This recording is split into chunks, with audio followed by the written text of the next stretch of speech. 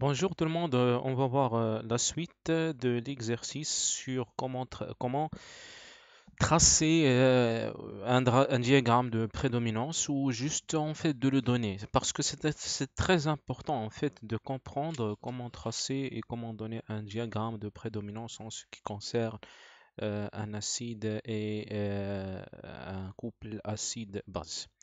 Alors, donc ici, euh, en fait, on travaille avec euh, le, euh, avec l'acide lactique et la méthode, en fait, elle est valable pour n'importe quel, acide, en fait.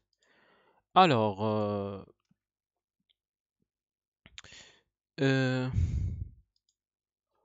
on a ici, on a les, données euh, qu'on a, on va travailler avec les données suivantes. Donc d'abord, euh, l'acide lactique. euh, Donc, dans la première question, on a vu que la base conju- conjuguée de l'acide lactique, on l'a vu. Donc, en gros, puisque vous savez que, que pour écrire, je vous rappelle que pour écrire un couple acide-base, vous avez toujours l'acide qui se trouve à gauche et la base qui se trouve à droite. D'accord? Donc, ça, c'est un rappel. Donc ici, le couple, en fait, si on veut résumer ce qu'on a dans la question précédente, c'est que le couple qu'on a, c'est C3. Bon, je vais noter comme c'est noté ici dans l'exercice. CH, OH, CO, euh, 2H. Donc ça, c'est l'acide. Slash la base conjuguée qui est CH3, CH, OH, CO2H. D'accord? Donc c'est ça, c'est ce qu'on a en fait. Donc maintenant, je vais vous écrire ce qui est demandé dans la deuxième question de, cette, de cet exercice. Alors, question euh, 2, on nous demande de tracer le diagramme de prédominance de ce couple. Alors, normalement, bon, je vais euh, partir euh, de zéro afin de, répondre à cette question. C'est-à-dire qu'on va euh, supposer qu'on ne connaît pas, qu'on n'apprend pas par cœur la, comment trouver en fait euh, le diagramme de prédominance ou comment le tracer. Alors, normalement, on va commencer par donner, par redonner, donc si je considère en général, si je note euh, l'acide par AH et la base par A-, ce qui est vraiment ce qui a un très grand intérêt parce que c'est pénible d'écrire euh, tout ça. Donc, qu'est-ce qu'on va dire? Donc, on va considérer en fait l'équation. Donc, je vais essayer de noter l'acide par H, que Je vais considérer l'équation de l'acide avec l'eau, H2O liquide. Alors, ça donne A moins AQ plus H3O plus AQ. Alors, ici, je vais donner la constante d'équilibre Ka. Ça sera la concentration de des, euh, le produit de, des concentrations des, euh, des produits en fait, c'est-à-dire que à l'équilibre, donc c'est moins à l'équilibre, multiplié par la concentration de H3O plus à divisé par la concentration de AH à l'équilibre. D'accord? Alors ici, qu'est-ce que je vais faire? Je vais appliquer des deux côtés le moins log. Donc si j'applique des deux côtés le moins log, ça va donner moins log de Ka est égal à moins log de A moins à l'équilibre multiplié par H 3 au plus à l'équilibre je divise par AH à l'équilibre. D'accord? Alors ici, j'aurais besoin d'un peu de mathématiques. Donc ici, je vais à chaque fois vous, écrire euh, les rappels. Donc si vous avez le log, logarithme décimal ou même le, ou bien sûr aussi le logarithme népérien, le log de a multiplié par b est égal au log, euh, bien sûr avec euh, a fois b, avec a et b différents de, de 0 en fait.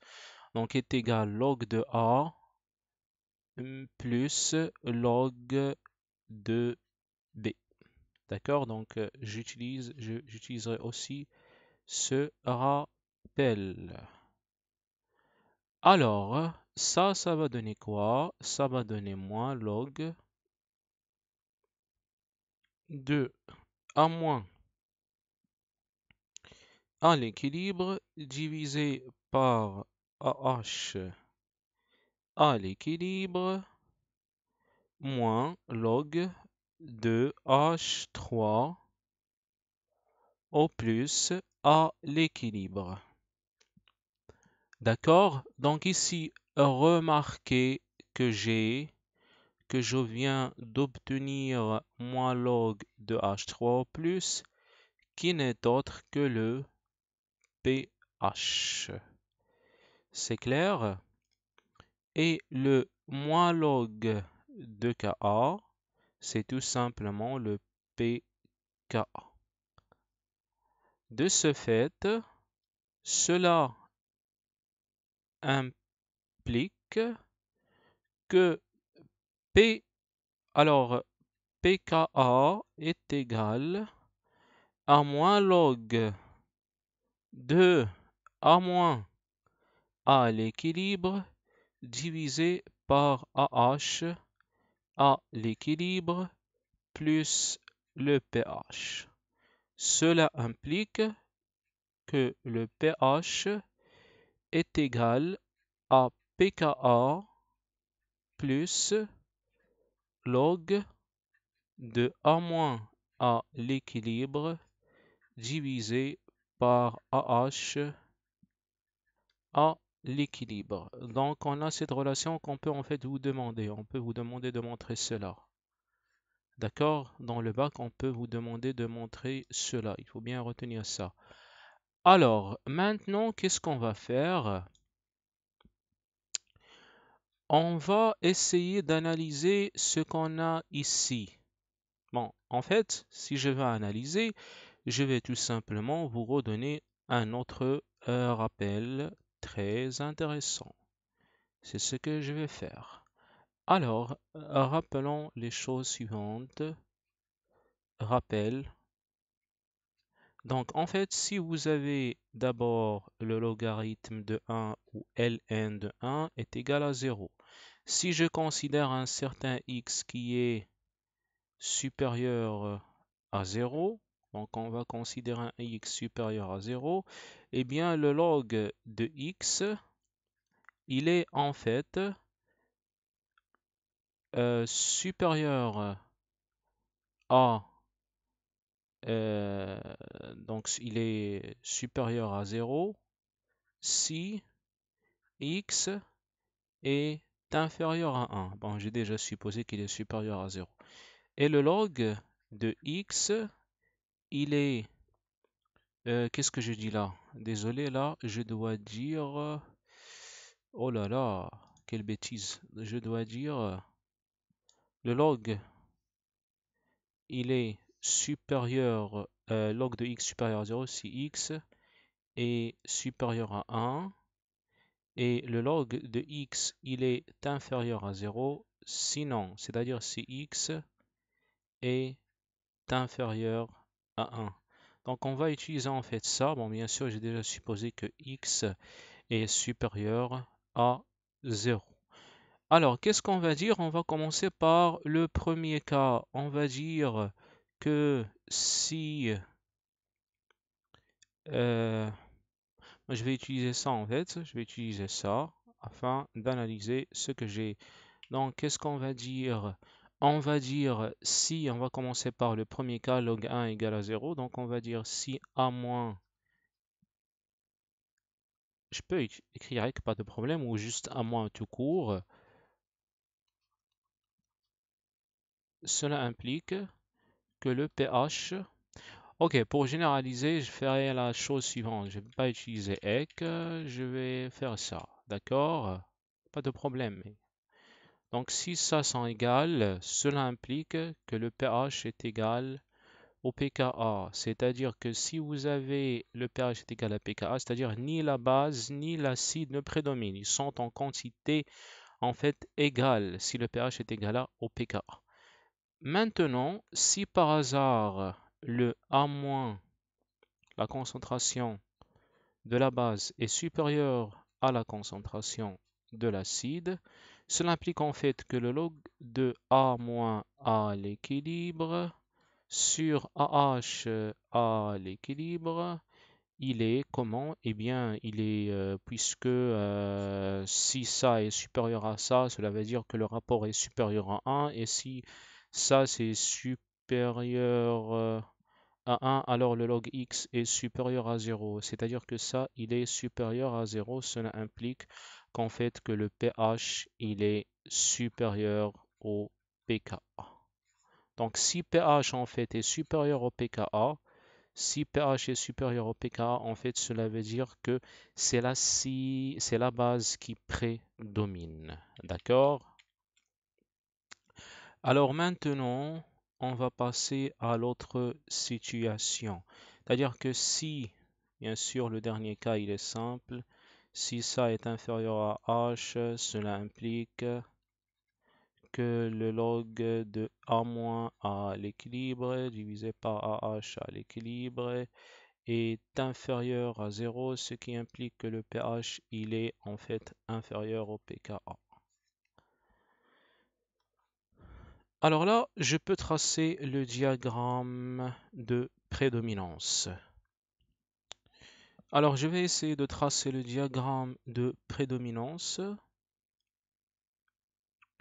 Voilà, donc en fait, ça c'est l'évolution du pH.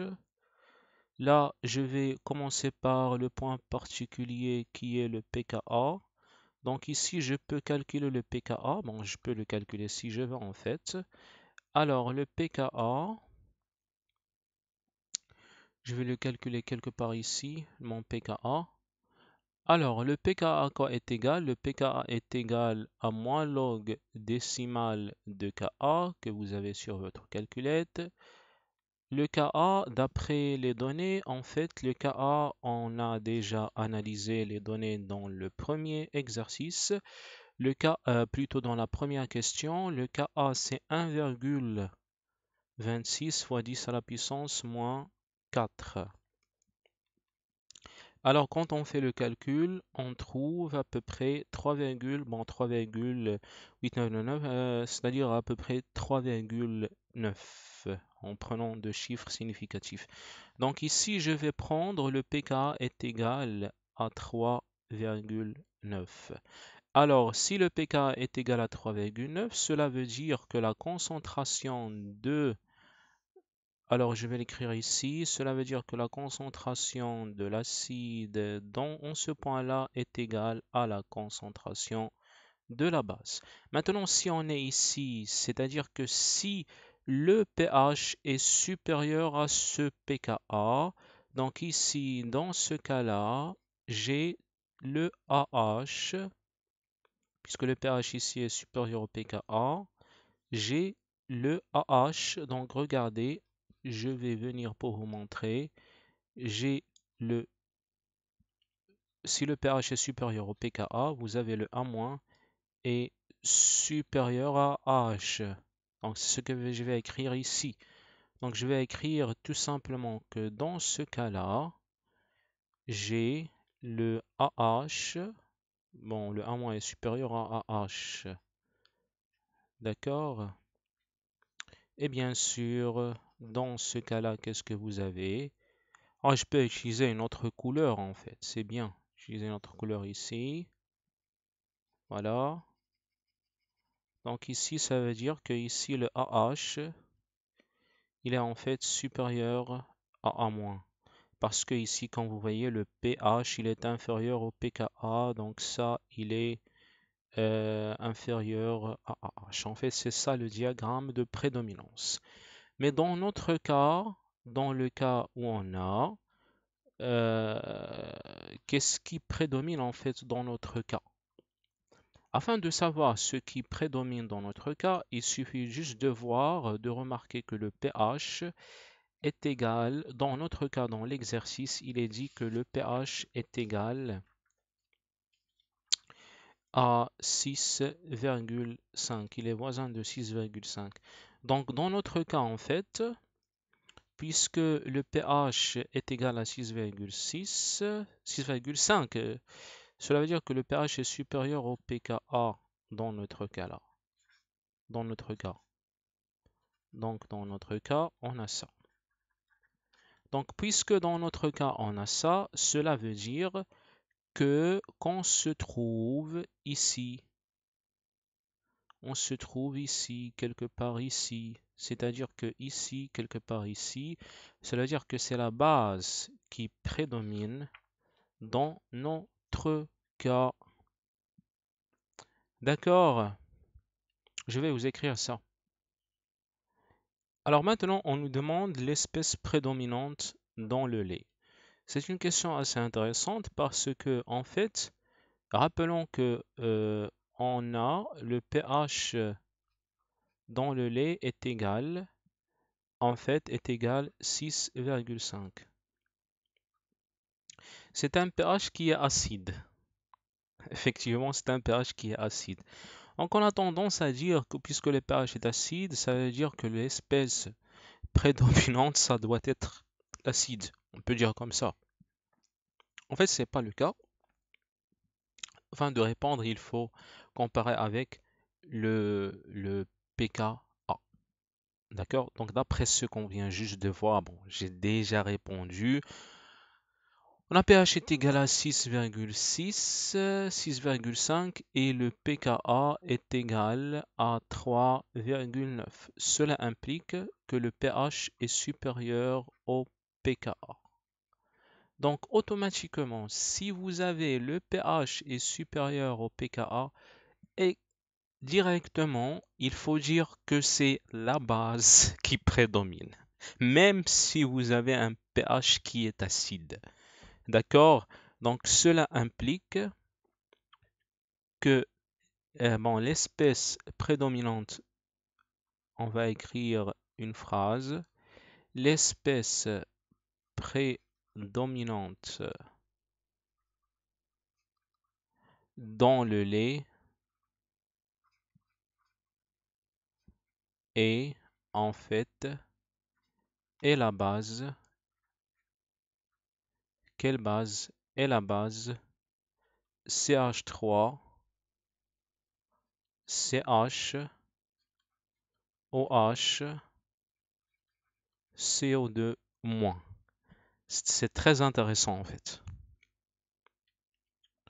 Donc là, la, euh, la question 4, euh, on nous demande de calculer la valeur du quotient base conjuguée sur euh, l'acide du couple de l'acide lactique dans le lait.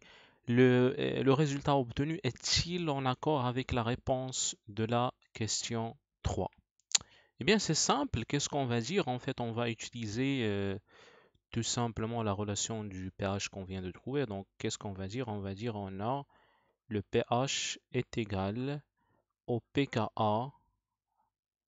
plus log de la concentration de la base à l'équilibre divisé par la concentration de l'acide à l'équilibre. Donc ici, puisqu'on cherche ce, quotient-là, et le quotient se trouve ici. Donc qu'est-ce qu'on va dire?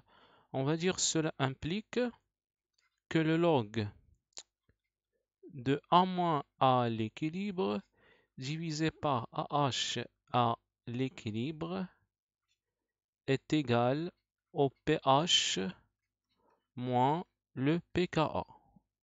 Bon, je, je dois ajouter un rappel en fait ici. Rappel, je rappelle que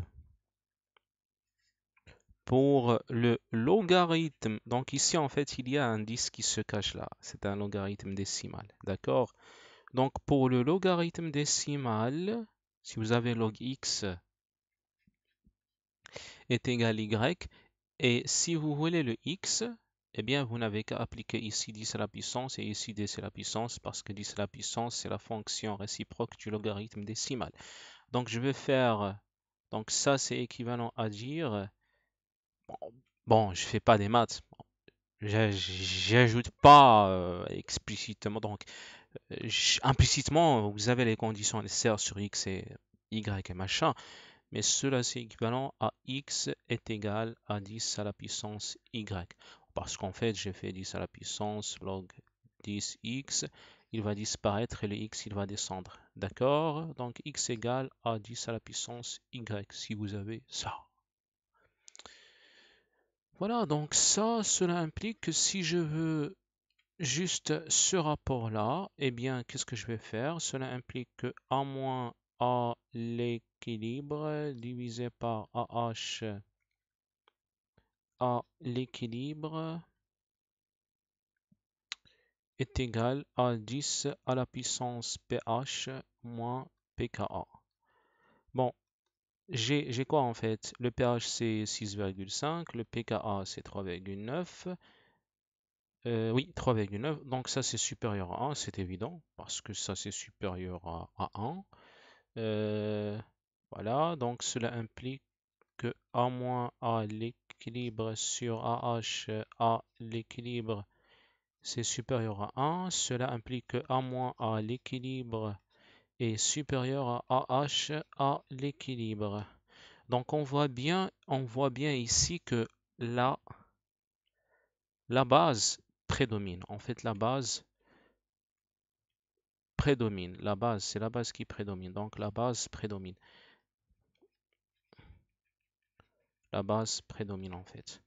Donc en fait, qu'est-ce qu'on va dire? La conclusion, c'est que donc la conclusion qu'on va dire, on va dire tout simplement que que la réponse est, euh, en accord, euh, que le résultat obtenu est en accord avec euh, la réponse à la question 3. Donc c'est tout pour cet exercice. S'il vous plaît, abonnez-vous, partagez, aimez. Quand même, il faut, il faut nous soutenir juste ici. Vous savez qu'on... Ça demande un effort. Donc moins, s'il vous plaît, partagez, abonnez-vous et aimez la vidéo.